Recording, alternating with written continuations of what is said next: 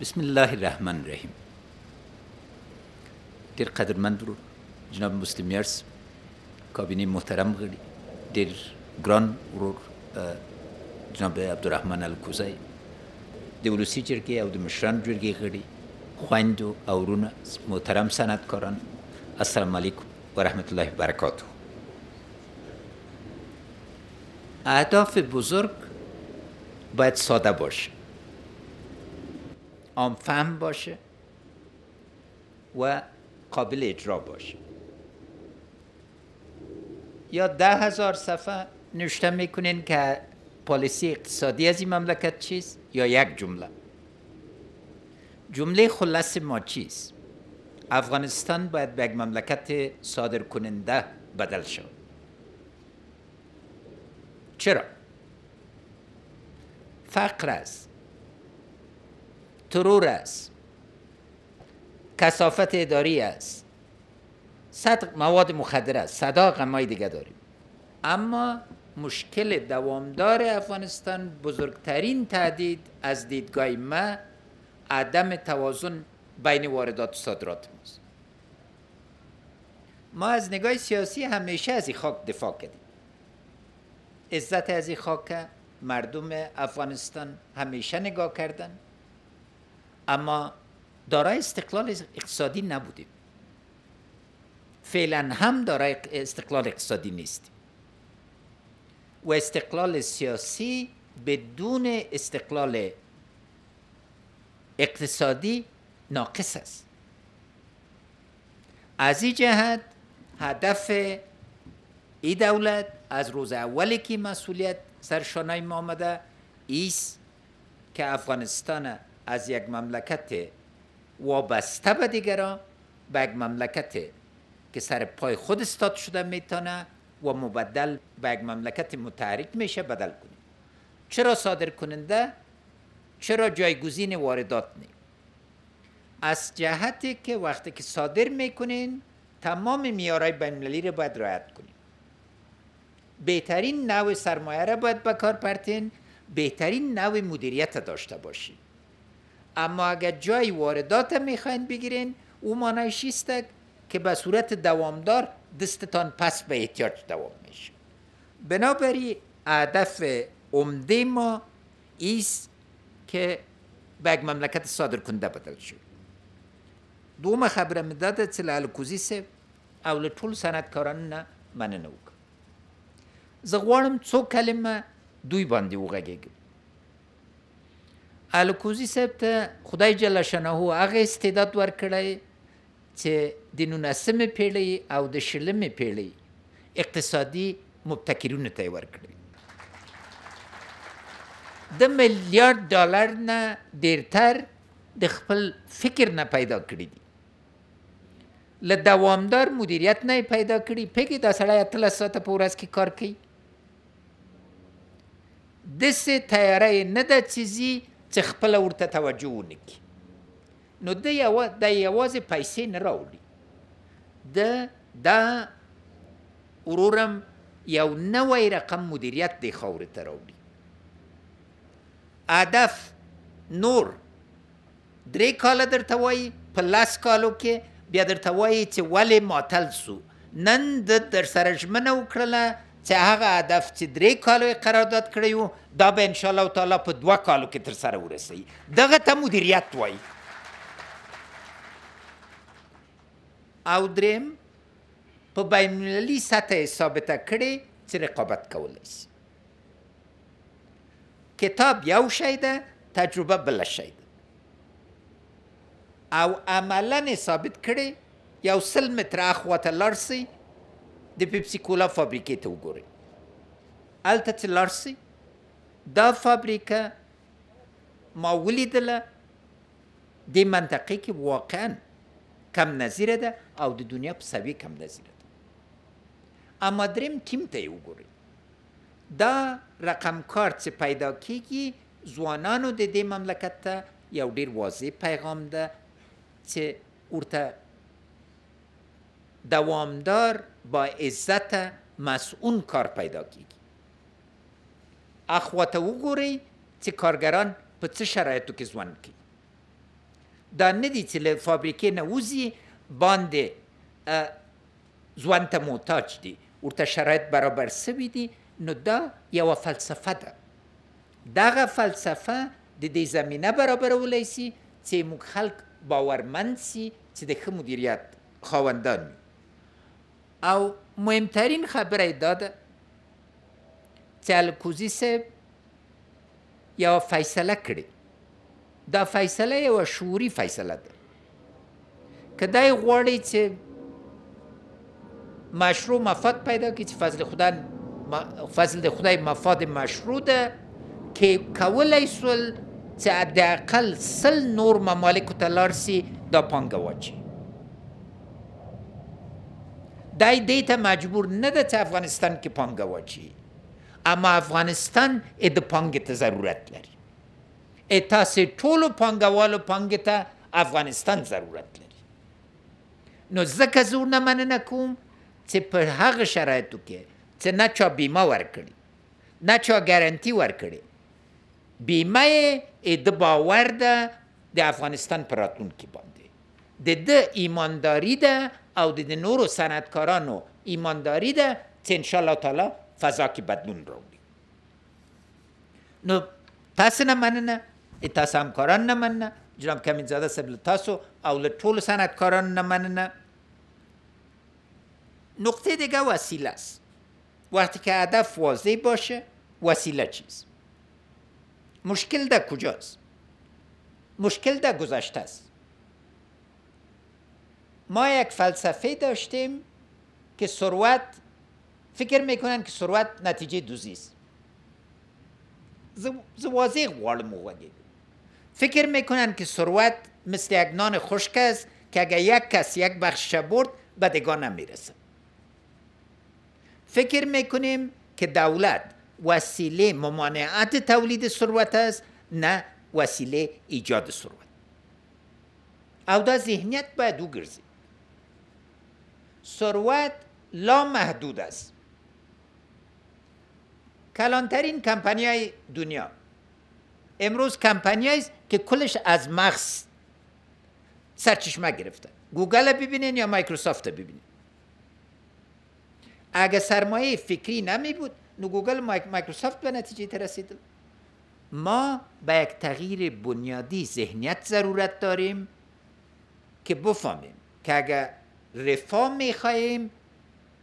رفاه را در ایجادش دولت ممد است اما انجن اصلیش یک سکتور خصوصی فعال قانونمند و سکتوری که باید مفاد مشروع داشته باشه. سکتور خصوصی بدون مفاد مشروع نمه. و فراموش نکنید که دین مبین اسلام تجارت نه تنها تشویق کرده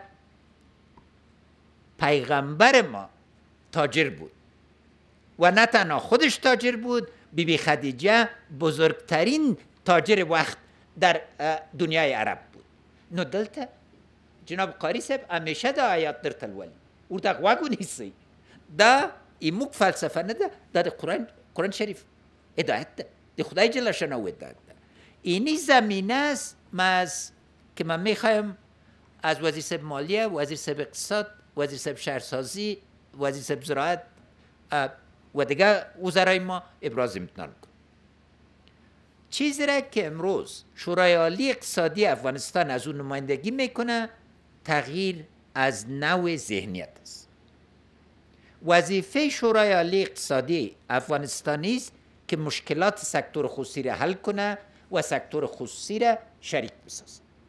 و در عین حال جامعه مدنی افغانستان باید درک کنه که یک جامعه مدنی بدون یک اقتصاد شکوفان داخلی پابرجا نمیمونه از این جهت است که شورای عالی اقتصادی افغانستان فعال شده اما معلوم دار مشکلات وجود داره مشکلات در سطوی وسط و پایین هستن آل باید هدف مایی باشه که فیصلایی که میشه تنها از طرف ما یا وزیر صاحب مالیه یا وزیر صاحب اقتصاد تعقیب نشه این فیصله باید شکل اتومات به خود بگیر مردم ما از فقر رنج می‌برن.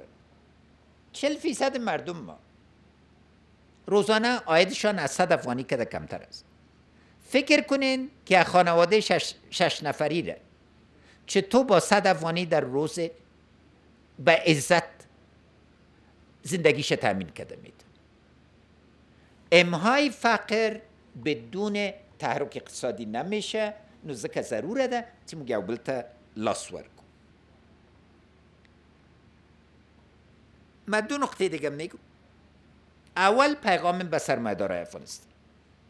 و به سرمایه منطقه و دنیا.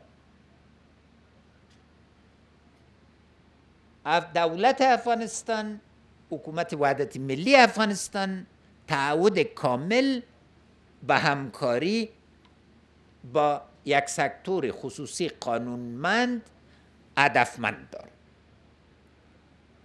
پروژه دقیق پیش پیش کنین سرمایه گذاری پیش کنین تعهد مایی است که مشکلات دور می‌کنه. و ای از خاطر عزیز که امید داریم که ما را از اتکا و کمک های بیرونی بکشیم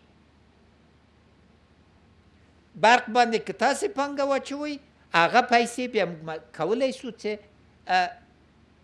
روغتیا باندې مصرف کو مسکن باندې مصرف کو ماجرینو دې برته جذب باندې مصرف کو هر چیرې چې تاسو امکان د پانګه اچول ګوري هغه برخه کې به دولت درته منندوی سي.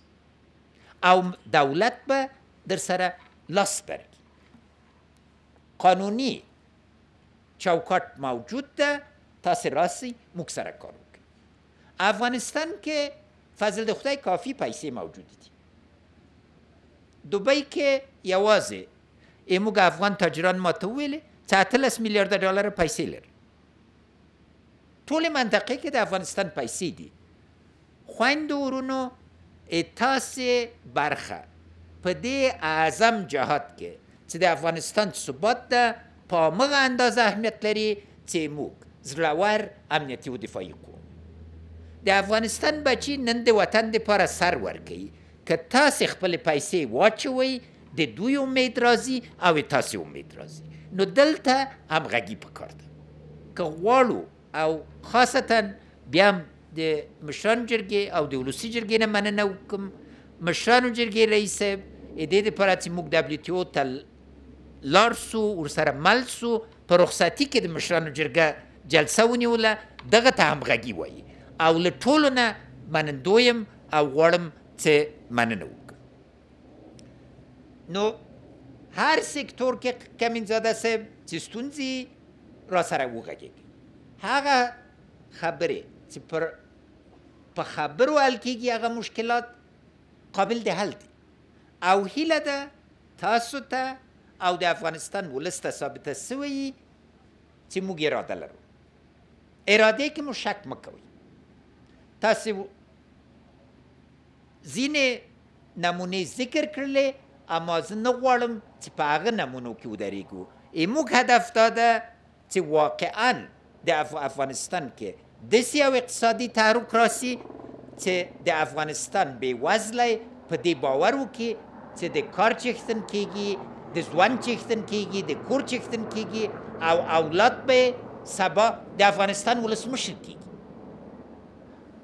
ایموږ اساسي قانون کې ټول افغانانو ته لار خلاصه ده چې ما او ان شاء الله تعالی هغه څوک چې نن په بیوزلي کې دي سبب د مملکت مشري نیسي او دغه به او تاسو تعودي ایموږ ملي وثیقه ایموږ اساسي قانون ده او هلته واضح لیکل شوي چې باید خصوصي سکتور ته دولت زمینه برابر کړي. موږ بل شی نه کوو. هغه شی چې اساسي قانون کې دي هغه در عملی کوو. نقطه آخرم نتایج سرمایه گذاری بر مردم است. هر بار که واردات می‌کنین چی رخ میده؟ کار ایجاد نمیشه.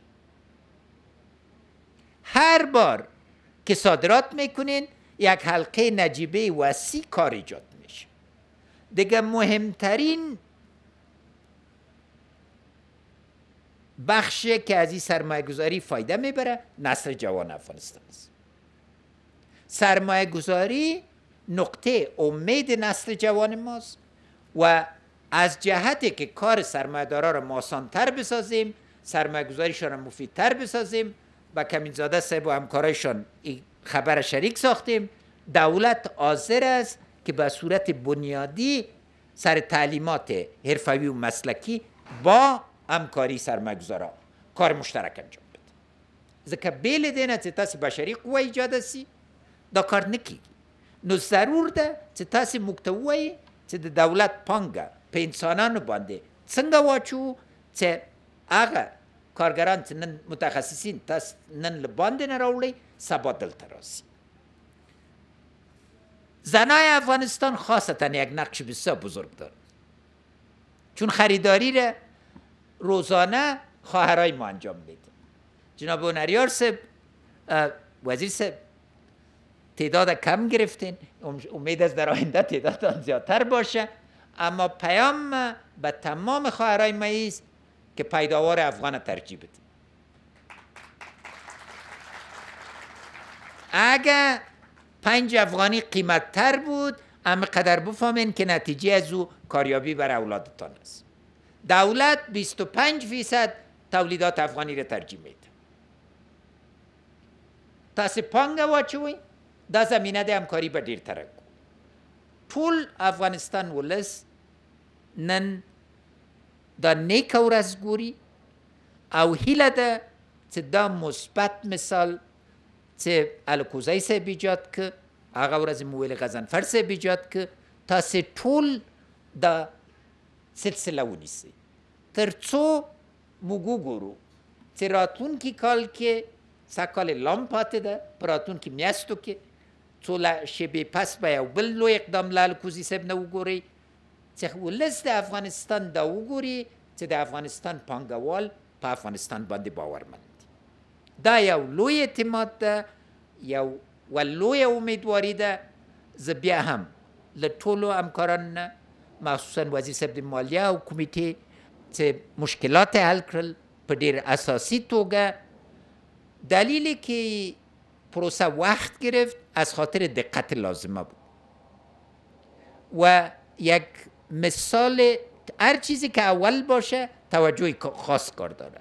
و دقتی که وزیر مالیه وزیر اقتصاد وزیر شهرسازی وزیر زراعت دیگه هم کار انجام دادن. از خاطر ازی بود که باید بفهمیم که نتایج از چیست و نتایج از را مثبت و همه جانبه یافتین اما بعد از این سرعت عمل بکار است. چون مثالا با وضاحت ایجاد شده ما بازم می‌خوایم از جناب الکوزی صاحب و گروپشان ابراز امتنان کنم و به تمام سرمایه افغانستان که در بخش صنعت در ایجاد کار در تزعید صادرات و پایین آوردن واردات.